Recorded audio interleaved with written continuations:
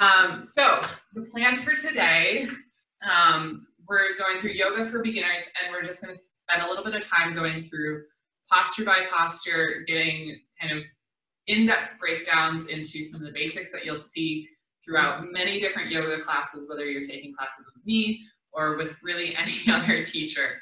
Um, and then after about a half an hour, if you're on Zoom, you can jump in, ask questions at any time. I'm leaving you guys all unmuted so that you can ask questions throughout.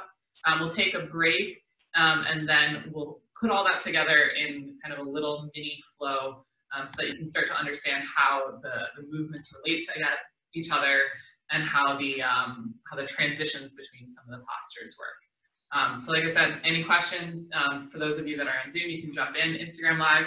I'm probably not going to be able to see your questions from far away, um, but you're always welcome to jump into Zoom. The um, information for the Zoom invite is available on bostonyogaonline.com, uh, so you can switch over to Zoom if that's easier for you.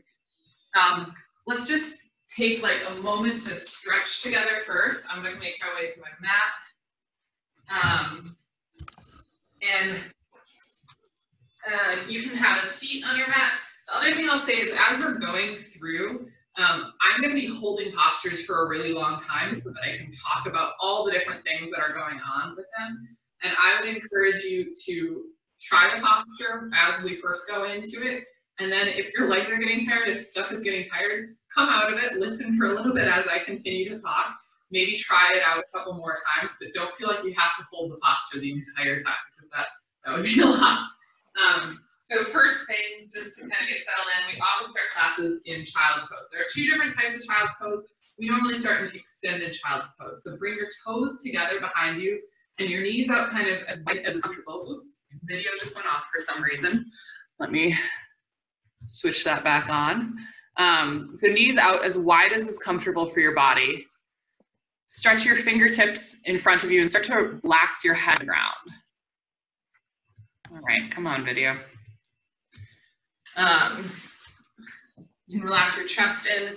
The other form of child's pose that we'll sometimes take is with your knees actually right underneath you and your hands flat at your sides.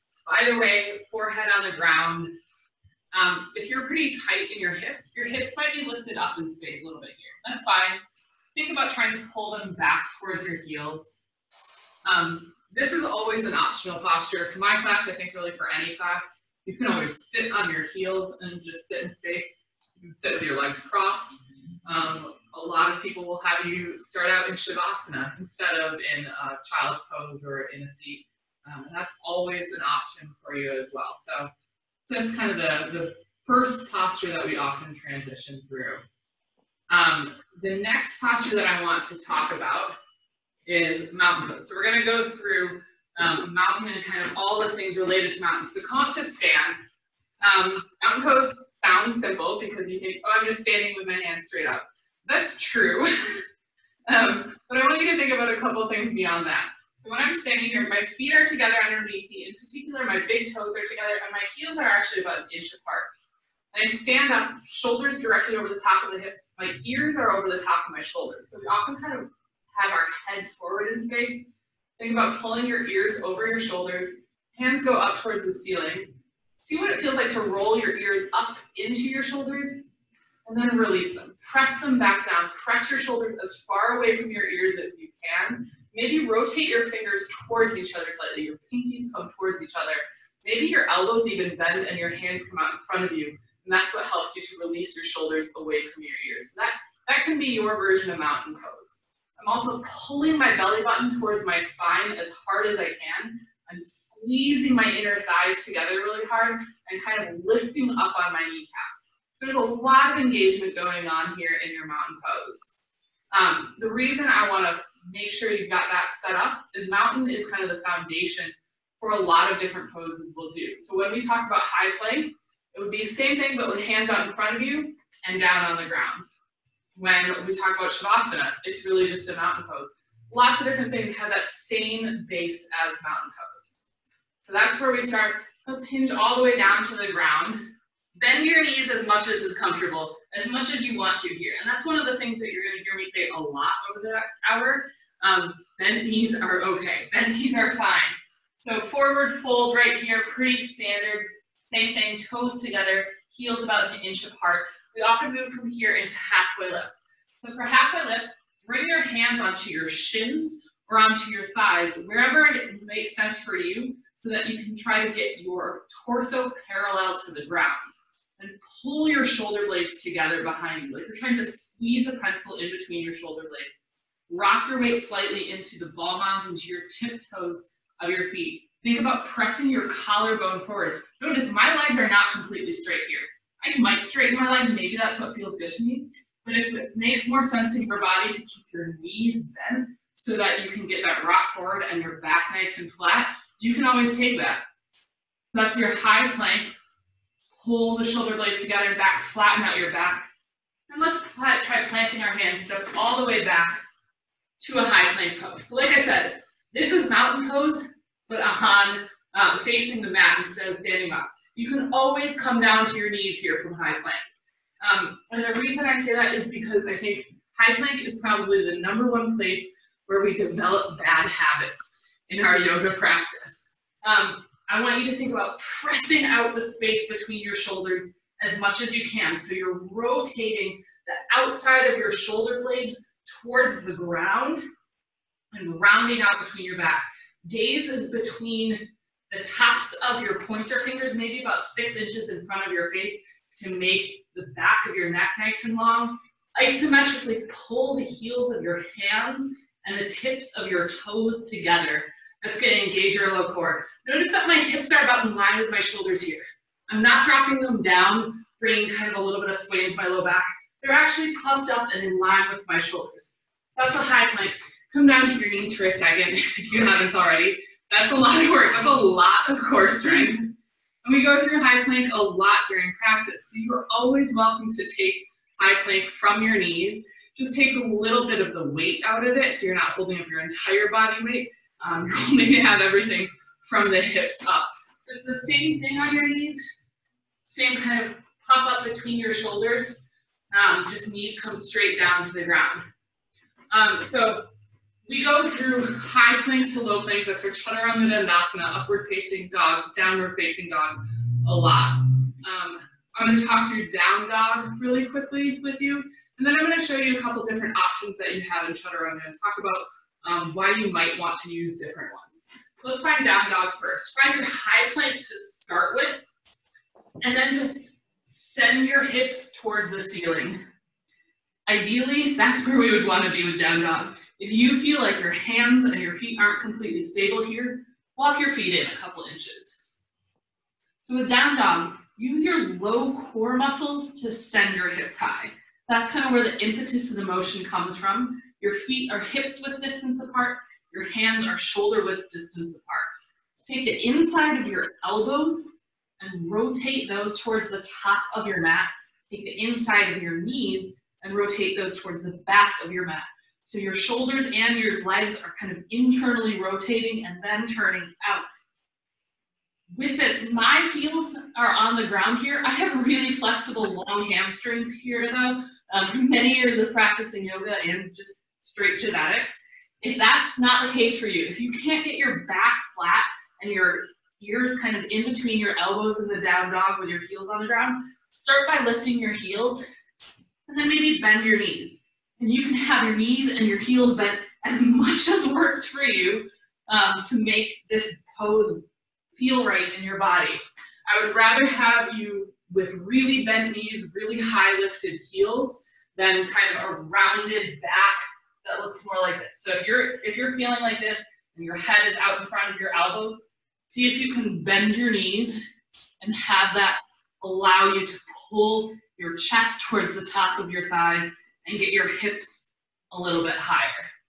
So That's downward facing dog. Again, if you want to take a seat, I'm going to talk through different chaturanga options. You're welcome to go through them with me. Um, so chaturanga, usually start from a half, but from a forward fold. We'll go through that halfway lift, press into the legs, then plant the hands directly underneath the shoulders. Step your feet all the way back. Inhale, shift forward as far as you possibly can Exhale, lower halfway. My elbows are squeezing in tight to my sides. On inhale, I flip onto the tops of my feet. Here in my upward facing dog, I'm pressing my feet into the ground as hard as, as I can. My legs are engaged to lift my knees, and I'm pressing my chest out in front of me. My gaze stays in front of me, maybe a little bit up. Exhale, downward facing dog. Curl the toes under. Send the hips up and back.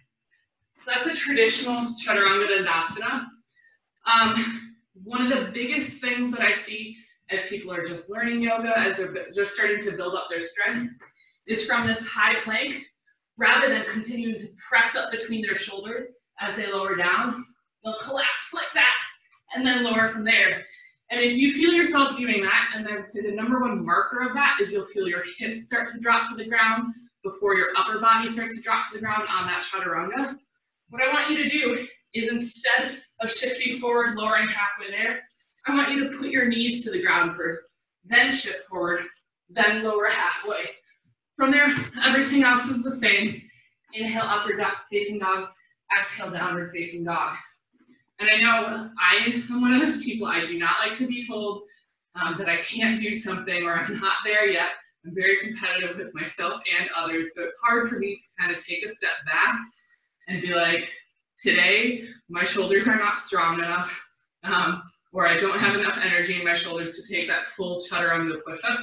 Um, but particularly, particularly as you're starting out, make sure that you've got that form down first, that you're able to squeeze the elbows in tight and keep your chest rounded out all the way through to halfway, and then lift um, up to your upward facing dog, and bring your knees down if not, because um, our bodies are kind of incredible. Our muscle memory is really amazing, and our bodies learn patterns and routines really fast. So if you're learning a pattern and routine where your shoulders are protracting as you lower down, that's what's going to be embedded in your practice for a very long time. Um, so you're better off coming down to your knees and learning that nice, um, firm, steady um, high plank to low plank with your knees on the ground and building up the strength there until you can pull your knees up and take the full high plank to low plank. So that's just my, my two cents on it and my feeling about um, taking different variations. The other thing that might happen is if you are tight in your low back, the upward facing dog might not feel good to you. So you've got two options if upward facing dog doesn't feel good. One is just to hold high plank the entire time. So I'll say inhale, halfway lift, exhale, chaturanga dandasana, high to low plank. You'll come to high plank. I'll say inhale, upward facing dog. You're still hanging out here. Exhale, downward facing dog. You'll send your hips up and back. That way you're not going through that transition with the upward facing dog. You don't have to bend into your low back. Great option. The other thing you can do if you still really want to work on building that shoulder strength, this is actually, I would say this is like a level up, but if you are feeling strong in your shoulders and you want to give yourself a challenge, you can still do that shift forward, lower halfway, but then instead of shifting to upward facing dog, press straight back to high plank and then to downward facing dog. Again, if you're practicing that, that chaturanga push-up with your elbows tucked in tight is really tough. So you can always come down to your knees and do the chaturanga push-up from your knees and then find your high plank downward facing dog. So different options. Anybody have any questions um, about chaturanga? Mia, who's here in the room with me, has a question. I have a question about downward facing dog. Yeah. Which is, are your shoulder blades pulled in together or are you, is your back puffed up? So, uh, so Mia's question, if you didn't hear, was in downward facing dog, are your shoulder blades together or is your back puffed up?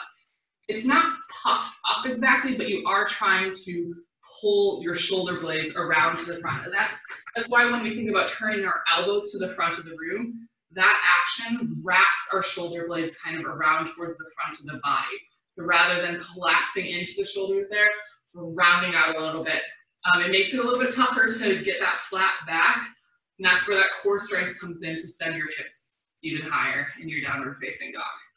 Uh, so a little bit of both, I would say. Uh, so that those are kind of like the basics of chaturanga, which I would say is really the core of most yoga practices. Um, we're going to get into some standing postures. Before I go into standing postures, I want to say one thing about how we get to standing postures. So we often transition to standing postures from a downward facing dog. and then you'll hear somebody say, inhale, three-legged dog. That just means lift your toes to the ceiling. The trick here you don't, the goal isn't just to get your hips or your toes as high as you possibly can, force your foot up and open up your hips. Try to keep your hips square in that three-legged dog, which might mean that your toes only come this high. But try to keep the weight in your hands even and your hips square to the ground. And then we'll generally step through to a low lunge. And a note on that step through a low lunge. If you have short arms, it's difficult. And you might step and your foot lands here. And then you have to take another step and another step and another step. And that's fine. It's just the way your arm body is put together. Um, it's a perfectly reasonable place to be. If you're trying to work really hard on getting that full step through, see if you can rise up onto the ball mound of your back foot. Think about touching your knee to your nose and then stepping your foot down. It's kind of going to be your best bet for getting your foot all the way through. Moving to the crescent lunge. So first big standing posture. Let's set up on the ground first. So left foot is behind me, my right foot is forward. You can switch with whichever side you're on and switch as we're moving through.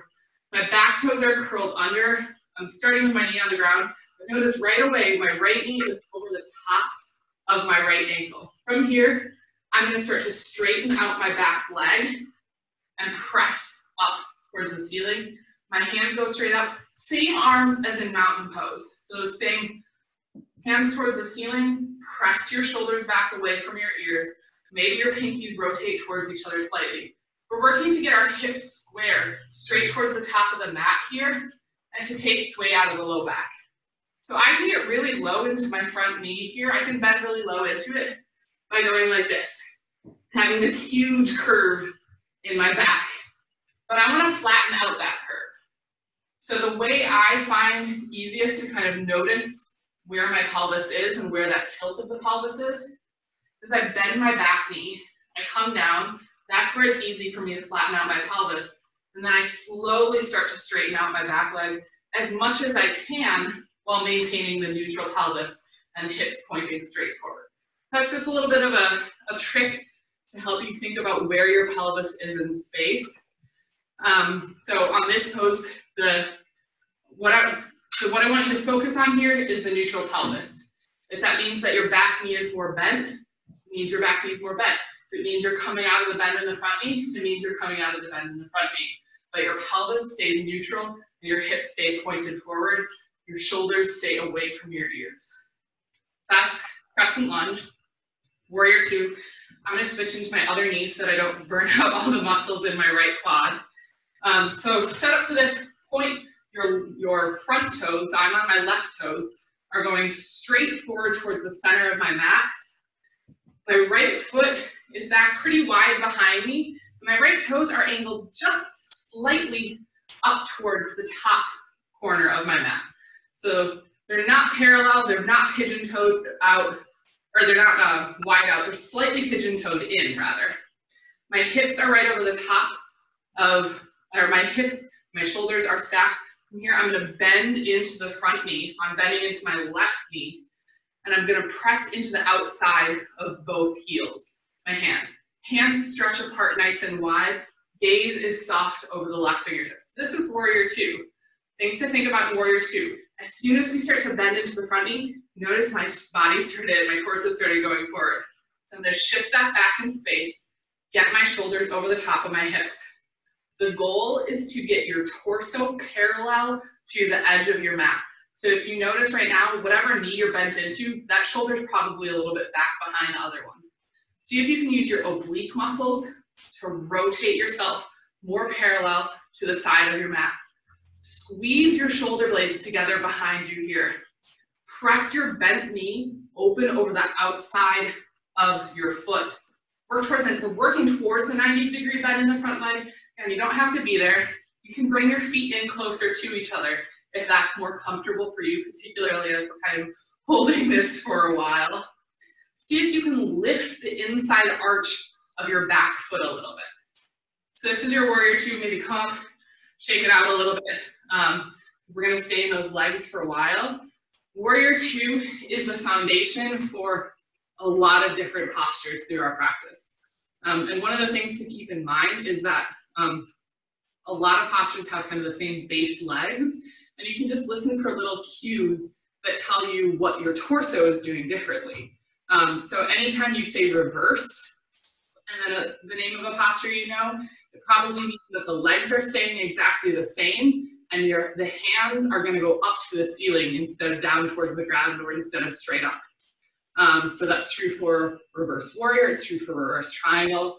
Um, and then similarly, if we say revolved, it generally means the hands stay exactly the same, or the legs stay exactly the same, and the torso twists to face the opposite direction than what you're used to. So from here, if I say reverse warrior, all that means is my left hand is going up to the ceiling, my right hand is coming around behind my back, or it can left rest on your right leg. Just don't want a lot of weight in that. A lot of people here, when they hear reverse, they think, oh, I have to reach back. And that can look nice, but I want you to think about as a goal here, finding a stretch between the intercostal muscles, so between the muscles uh, in your rib cage there. And to achieve that, you really have to sink into the hip, sink deeper into the lunge, and lift as high as you can with that left hand. Once your hand is as high as you can get it, maybe that's where you start to tip back a little bit. But my legs are staying exactly where they were. There's a really huge um, temptation to, as your hand lifts, to lift out of that bent knee a little bit. See if you can keep that knee low and long and pressing over the outside of the left knee. So that's reverse warrior. Extended side angle, same legs as warrior two. I'm gonna switch, so I'm bent into my right knee here. So if you wanna switch with me, you can do that as well. Exact same legs. Okay, I gaze over my front fingertips. So for me, that's my right fingertips. I'm gonna press into my left foot to reach my right hand as far forward as I can possibly get it. And once I'm reaching as far as I can, I just tick-tock my arms in space to bring my right elbow down to my right knee. You can actually rest your right elbow on your right knee here. Now you might have noticed when I did that, when I went to rest my right elbow on my knee, I went from this kind of lifted, extended position like hunched over a little We wanna avoid that where possible. So see if even when your right elbow is on your knee, instead of letting your left shoulder drop towards the floor, you can rotate it up. Think about lifting the left side ribs up towards the ceiling. In general, our hands go straight up here, but there's always the option to reach your top hand out overhead. And notice now I have this line of energy that goes from the outside of my left hand all the way through my left fingertips. Um, and that's really what we're aiming towards. That's where you can kind of get the indicator for the depth of your posture and whether you're kind of rotating and lifting out of that as much. So rather than thinking about extended side angle as a reach down towards the ground, look at that, when I touch the ground, my shoulder collapsed down towards the ground. So instead of that, it's a lift up and out. All right, any questions from anyone on those kind of base standing posture so far? Yeah. So when you're in warrior two, Mhm. um, are your hip bones slightly at a forty-five, or are you trying to get your hip bones headlighted? Yeah, great question. So we're get, trying to get our hip bones headlighted towards the side of the room as well. Yeah, not just the torso. So the, you, it's hard, you're not gonna be able to get them completely headlighted towards the side to pull that. because you wanna keep pressing the knee open over the outside of the foot. But as much as possible, trying to get them kind of headlighted towards the side of the room. Now, one more kind of big standing posture that's used pretty often is triangle pose. Um, and that is different in the hip orientation than the, the warrior series. Actually, there's two more that we'll talk about, warrior one and triangle. Um, for triangle, start with your feet, um, not hips with distance, a little bit wider than hips with distance underneath you. Um, I'm gonna go to the right, so I'm gonna point my right toes straight towards the top of my mat. So my feet are forming a T, basically, underneath me. My left foot is completely parallel to the back of my mat. My right toes are pointing straight forward. Then from here, I'm gonna pop my hips back. I'm kind of hand on my hip, leaning into my, putting my weight into my left foot. And that allows me to stretch my torso forward. Now here, think about that like center point of your tailbone behind you. Think about pulling that towards your left heel. So I'm pulling that towards my left heel. I'm gonna reach my right hand out as far as I can possibly get it, just like in that extended side angle. And then again, tick-tock my hands down to the ground. And just like in that extended side angle, it's the rotation up of the left shoulders towards the ceiling rather than trying to get the hand on the ground. This is a difficult posture though. So if you want to bring your hand onto your shin for some support, if you want to bring your hand onto a block, I found that a case of beer is actually kind of the exact right height as a block, so you can do that as well. Our goal in this triangle pose is to get our torsos parallel to the ground and our hands reaching up, our gaze going up, but that's a lot. So if your feet are closer in underneath you, and you're just like this, that's a great place to be. It's also a lot of work for the legs, and sometimes we forget that and we allow our legs to not really do anything. So if you were just doing that pose and you're like, oh yeah, I kind of feel it, but it doesn't seem like it's that hard, try this. Try going into that pose, that will reach forward, forward, forward, pop your hips back, then reach down, and then micro bend your front knee. The leg that was straight, bend it a little bit, and then pull your heels together underneath you as hard as you can. Remember, point the tailbone down towards the back heel, pull your belly button towards your spine to engage your core, and maybe from here, start to stretch your bottom arm out in front of you. Maybe even try to reach the other hand up overhead like you're grabbing a giant beach ball. Whew. Holy crap, that's a lot of obliques. That's a lot of core work there. So that is triangle pose. It is a tough one. Um, it's not something that comes naturally to us. Um, so there is the tendency there to lock out the joints. Just kind of hinge forward and be like, oh, I can hold this. Remember to lift up and out, rotate up, re-engage the legs. Lots of different stuff going on in triangle. Um, the last big um, standing pose is warrior one, and I save it to the last because it is a tricky one. Um, for me, at least, in my body, it's not something that feels supernatural. So come up to stand again. I'm gonna point my right toes, I'm gonna bend into the right knees first. So my right toes are pointed straight towards the top of my mat. And just like we had in triangle pose, it's not that super long stance. Um, my foot is a little bit closer underneath me. I'm gonna bend into my right foot here and right away, I want to put the entire left heel, the entire back heel down onto the ground. I know it's tempting to lift the heel. see if you can press it down to the ground. If you need to take your foot like a foot wider, or if you need to put your foot way in underneath you, so that your feet are like barely even hips width distance apart, you can do that. If that's what allows you to get your back foot onto the ground, take that variation. Change up where your feet are. You'll hear teachers say we're aiming for heel to heel alignment. So like imagine there was a line bisecting your yoga mat. You're trying to step both heels onto it. But that's not going to be right in everybody because some of us have deeper hip sockets and our hips just don't rotate that much.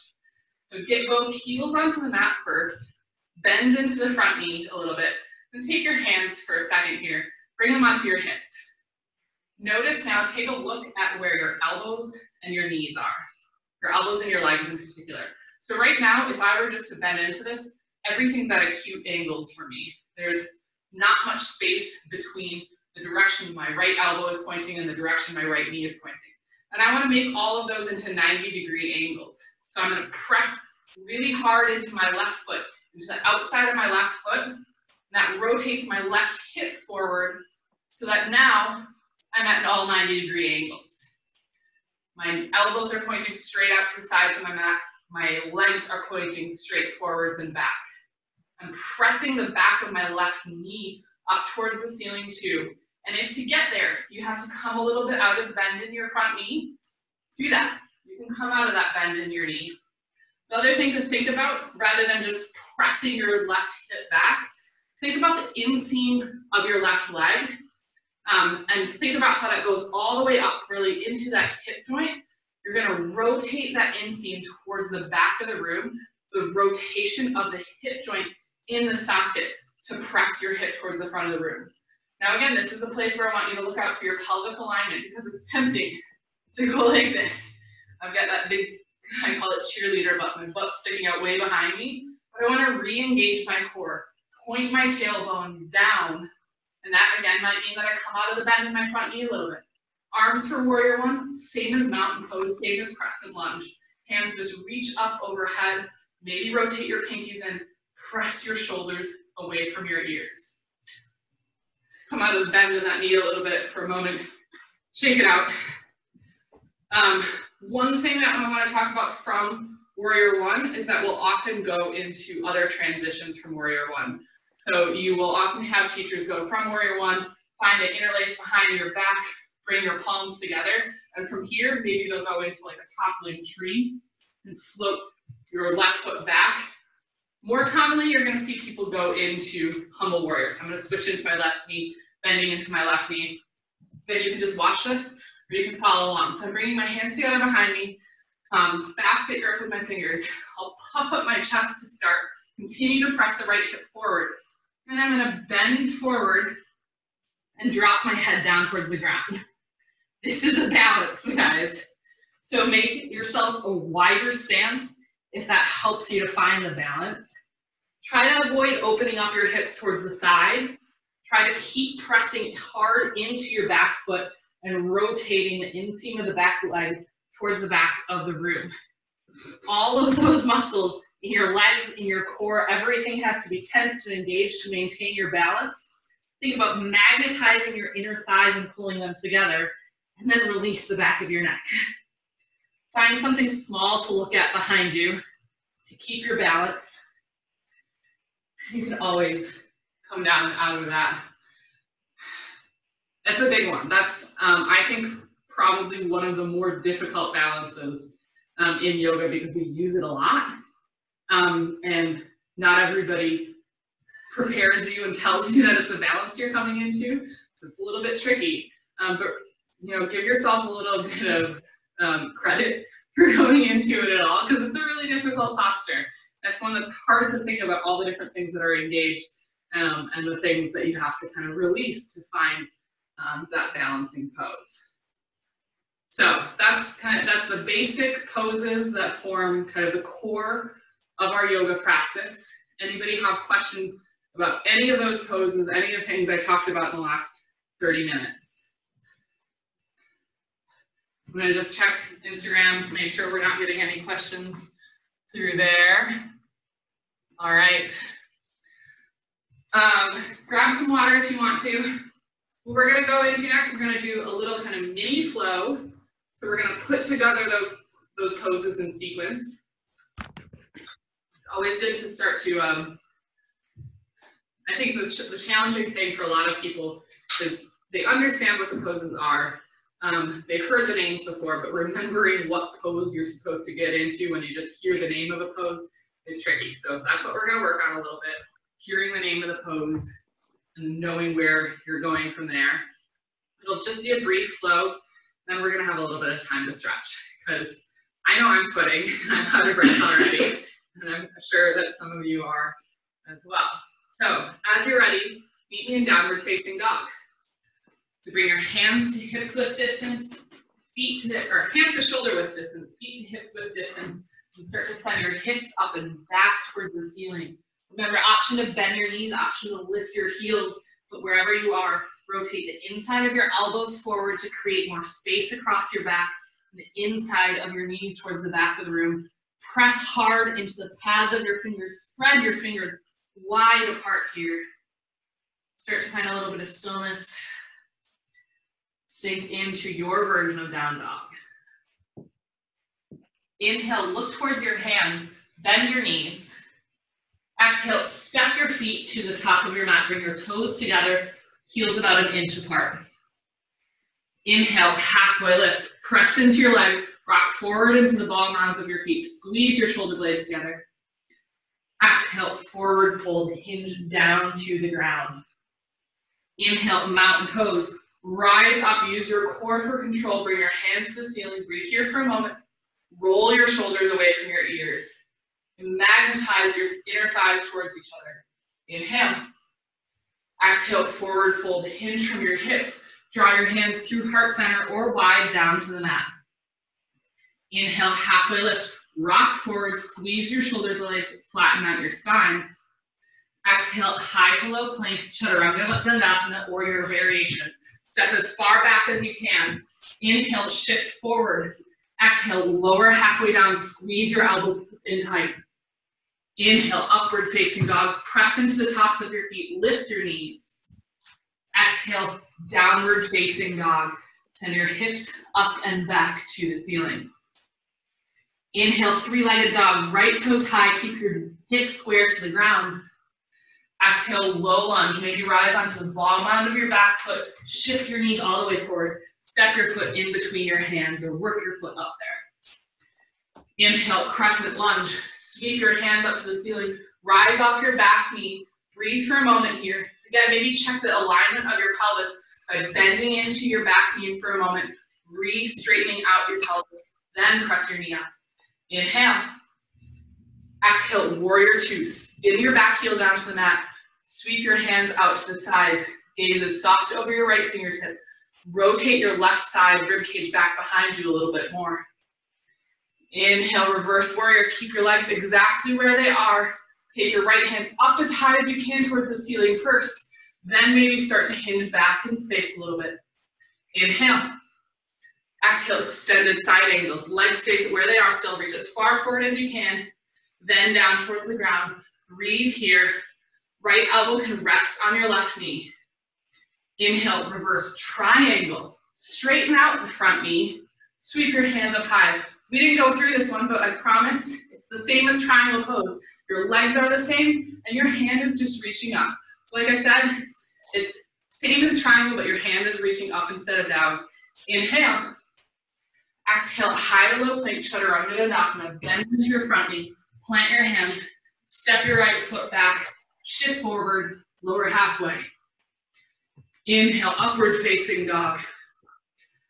Exhale, downward facing dog. Send your hips to the ceiling. Inhale, left toes high, three-legged dog. Square off your hip. Exhale, low lunge. Shift your left knee forward as far as you can get it, then drop your foot down to the mat. Inhale, crescent lunge. Sweep your hands up to the ceiling. Breathe here for a moment. Stack the left knee over the left ankle. Maybe you start bending your right into your right knee a little bit, then straightening out to get your hips forward and your pelvis nice and neutral. Inhale. Exhale, warrior two, open up towards the side. Spiral the outside of the right foot down. Left toe still points straight forward. Shoulders over the top of your hips. Inhale, reverse warrior. Take your left hand high to the ceiling. Then maybe start to stretch back. Press your shoulders back away from your ears so you're not lifting your shoulder into your neck. Inhale. Exhale, extended side angle. Shift forward, forward, forward, then down towards the ground. Right hand goes up. Left elbow is maybe on your knee, but wherever you are, rotate the right side rib cage open. Inhale, reverse triangle. Straighten the front leg. Take your hands up to the ceiling. Inhale. Exhale, high to low plank. Chaturanga Dandasana. Spiral your hands down. Step your left foot back. Shift forward. Lower halfway. Inhale, upward facing dog. Exhale, downward facing dog. Take another deep inhale. Exhale. We're going to go through the second half of that again, a little bit more quickly. Inhale, right toes high to the ceiling. Exhale, low lunge. Step your right foot in between your hands. Inhale, crescent lunge. Sweep your hands straight up. Exhale, warrior two. Spiral your back heel down. Inhale, reverse warrior, right hand high. Exhale, extended side angle. Stretch forward as far as you can, then down. Inhale, reverse triangle. Straighten your front knee. Exhale, high to low plank, chaturanga dandasana. Inhale, upward facing dog. Exhale, downward facing dog. Last side, inhale, left toes high. Exhale, low lunge, pull your knee to your chest, then step down. Inhale, crescent lunge, sweep your hands straight up, square your hips forward. Exhale, warrior two, back heel to the mat, stretch out your arms. Inhale, reverse warrior. Keep your legs where they are. Exhale, extended side angle. Right hand high or overhead. Inhale, reverse triangle. Squeeze your heels together underneath you. Exhale, high low chaturanga dandasana. Inhale, upward facing dog. Exhale, downward facing dog. Take a deep inhale. Exhale, let go. Moving into some stretches. Inhale, right toes high. Exhale, bend your right knee. Bring your right knee towards your right wrist, your right foot towards your left wrist for a half pigeon. If this hurts your legs, flip over onto your seat. Bring your right foot across the top of your left knee. And just pull your knee in towards you. You can lie, lie down on your back and take this on your back as well. So lots of different options for that hip stretch. As we're hanging out here, if you're on your belly, walk your way down. Find some place for your head to rest. And that's not something that is required for the stretch, but I do want you to be able to relax a little bit. Sink in the back of your neck. Just release. As we're sitting here, if anybody has any questions, any parts of that flow, that the transitions weren't quite clear, they weren't quite sure where they're supposed to go, chime in, pipe up. Otherwise, you can just stay stretching your outer hip.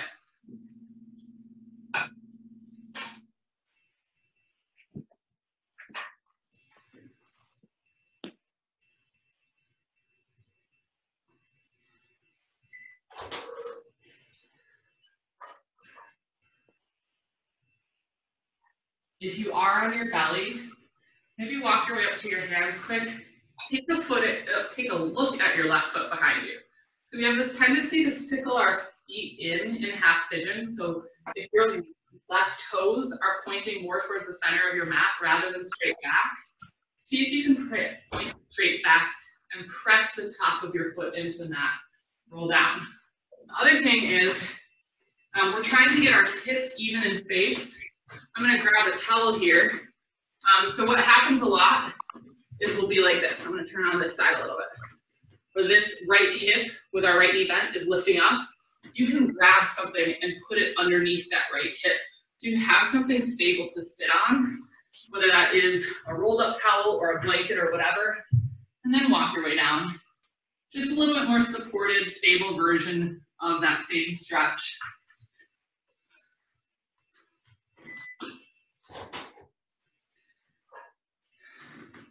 As you're ready, start to lift your chest, curl your back toes under, send your hips up and back, pedal out your legs a little bit.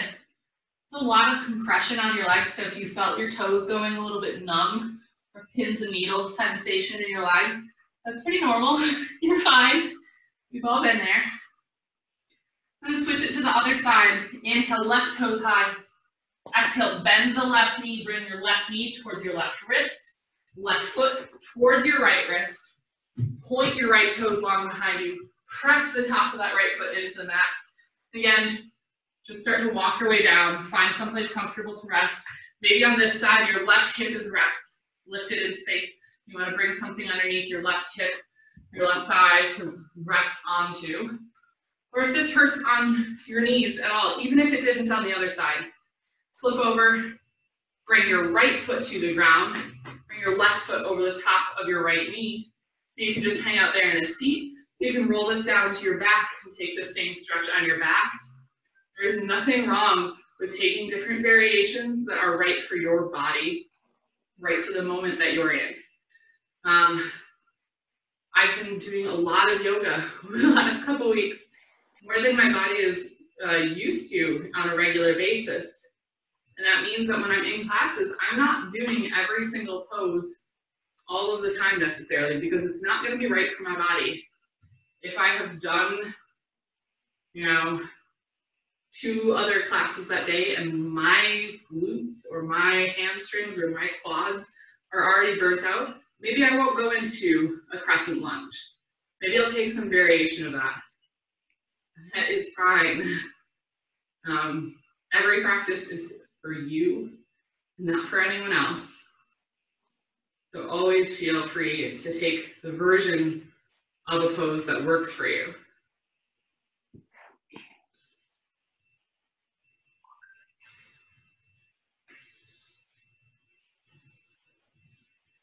If you want to readjust it all in your half pigeon, maybe try out a different version of this stretch.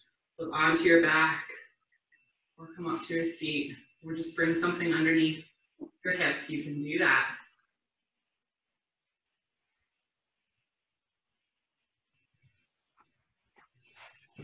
And let's all start to make our way to a seat. So if you're in your half pigeon, you can just rise up and swing your legs around in front of you. You're already in a seat, just release your legs. Let them go long. Um, I'm going to talk very briefly about seated forward folds.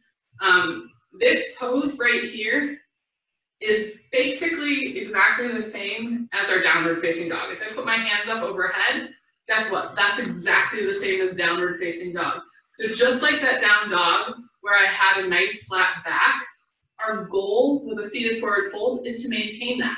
And just like in down dog, that might mean that my knees bend, maybe they come all the way up to here, and that's what allows me to keep those straight, flat back as I hinge forward over my legs. If you've got hypermobile um, hamstrings, maybe you don't. Maybe your legs stay flat on the ground as you hinge forward. You can grab a towel and bring that around your feet. Um, you can grab a, um, a belt, a strap, whatever works for you to pull yourself down towards your feet if you're trying to get deeper into that hamstring stretch. But you also don't have to. If you're like, I'm hanging out here and this feels good for me, hang out here. The other thing that you can always do when we come into seated forward folds because um, that's still a good amount of work kind of in your low back. Your back muscles are still pretty engaged there. And if you would rather stretch out those back muscles, instead of that pull forward of your chest, your collarbones pulling towards your um, toes, you can take a back stretch. So start from that same seat nice and tall, and then slump. let your back round out behind you. Then let your chin fall to your chest. Then roll forward in space like you're trying to drop the top of your head onto your knees. So I've done this stretch already today. I've been warming up a bit. So for me, my head comes pretty much all the way down to your, my knees. Some days I'm like this. If you ask me on like a Wednesday afternoon after I've been sitting in a chair that wasn't meant to be sat in that often for three days solid of work, I'm about like this and I can feel this like in the back of my head going all the way up to the crown of my head. And it's pretty, it's a pretty painful stretch for me at that point. So maybe that's where you're at today. You're just hanging out there. You can always build a little tower for yourself, either with your hands or with a pillow or something else to have something to rest your head on. If you're pretty deep in the stretch and you want to go deeper, you can bring your hands behind the back of your head, let your elbows drop by your ears, and use that as some extra weight to get deeper into the stretch. Um, so again, just a note that um, none of these poses are static. None of these poses are something that a teacher says, go into your seated forward fold and there's only one way to do it and it's always gonna look the same. It's gonna change by day, it's gonna change by time of day, by what you've done the previous days. It's gonna be changed by what you need in that day. So maybe some days you're like, I need to stretch my hamstrings. I'm going for that sometimes you're like, my hamstrings are fine right now, but gosh, my neck is sore. And take that other version then. Take what's right for you in the moment. Um, there's no compelling need to do exactly what the teacher says at all times. Um, we're gonna do a couple little twists for our back. Um, we're gonna just hang out in Shavasana for a couple minutes. I'll take some questions again towards the end. As you're ready, use just a little bit of core strength to roll down to your back.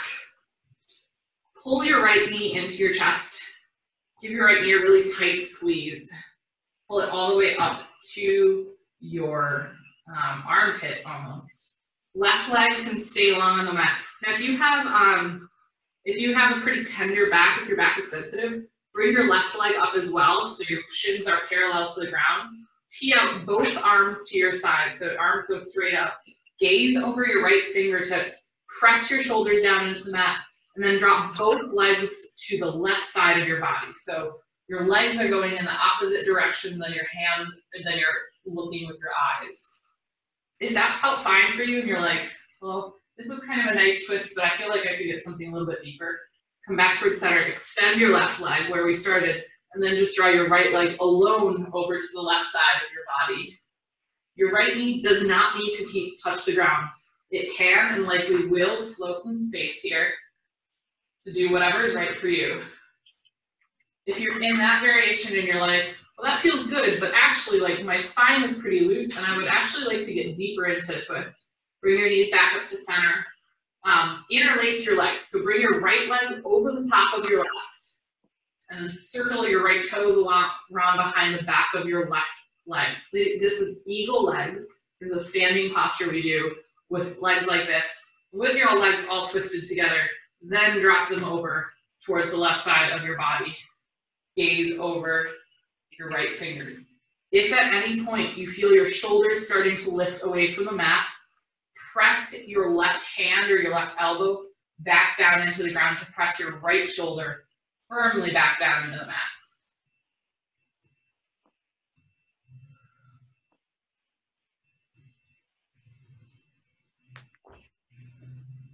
Start to bring your knees back in towards center. Give them both a tight squeeze. And then switch them out. Bring your left leg in tight, let your right leg go long. Left knee comes all the way up to your armpit. And then again, take the variation that's right for you. So maybe that's both knees bent, both knees go to the side. Maybe just your left knee stays bent, your right leg goes long. Maybe you're interlacing your legs with your left leg on top of your right this time. And then take your legs towards the right side of your body, gaze out over your left fingertips. Again, your knees do not have to come to the ground, but your shoulders should stay there. Just allow yourself to sink in to stretch a little bit. Change it up if there's a different variation that works better. Maybe it's not the same as what you used on the other side.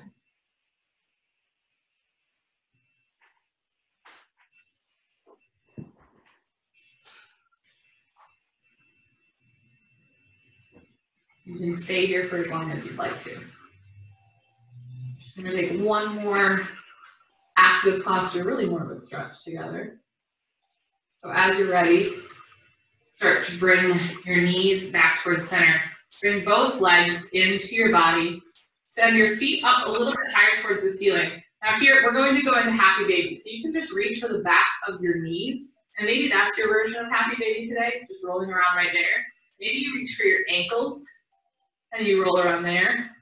If you can pull your feet a little bit closer to you, maybe you reach for the inside or for the outside of your feet. The goal is to kind of press your spine down into the ground. I'm pressing hard into my feet to get my entire back flat on the mat. I'm just gonna roll around a little bit. Maybe straddle out one leg, straddle out the other leg, and maybe straddle out both legs in space. Take it around, the other thing that often feels good for me is I'll actually let go of my feet. I'll bring my knees into center, place my hands on the top of my legs, on the top of my knees, and I just kind of make small circles with my knees to massage my sacrum, the low piece of my low back. Because that for me is what often kind of gets tight and uncomfortable. It's a really nice way to massage out your sacrum a little bit. As you're ready, start to bring your knees as close as you can to your chest. Wrap both arms around your legs. Take in the deepest breath you've taken all day. Inhale. Exhale, Shavasana. Spread out in your space. Let your feet flop open. Your hands open up towards the ceiling. Readjust anything you need to so that you're comfortable to stay here for a couple of minutes. Flatten out your shoulder blades into the mat. Come up to a seat.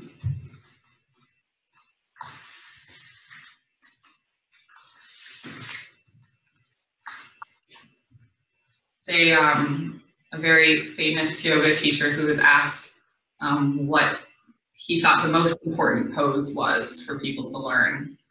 Uh, and he said Shavasana. I love that. Certainly my favorite place to hang out. Um, when you've worked hard for an hour, it's a really nice place to spend some time.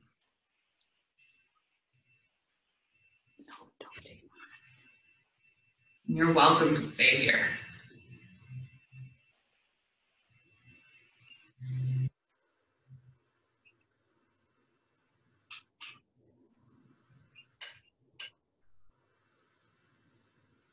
How many people around down there? It's good. Just make sure. Not too many.